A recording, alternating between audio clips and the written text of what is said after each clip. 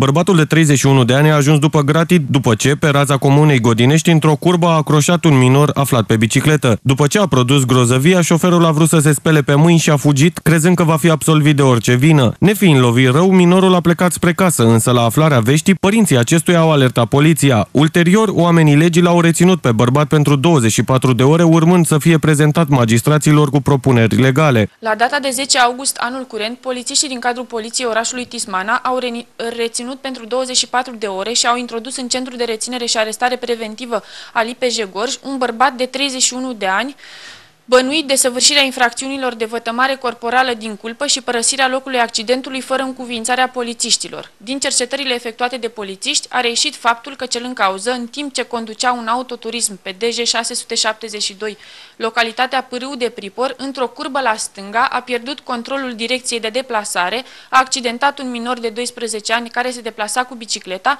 și a părăsit locul producerii evenimentului fără încuvințarea polițiștilor. Bărbatul s-a ales și cu dosar penal, fiind bănuit de săvârșirea infracțiunilor de vătămare corporală din culpă și părăsirea locului accidentului fără încuvințarea polițiștilor. După audier, magistrații vor decide dacă se va impune măsura arestului preventiv în cazul acestuia.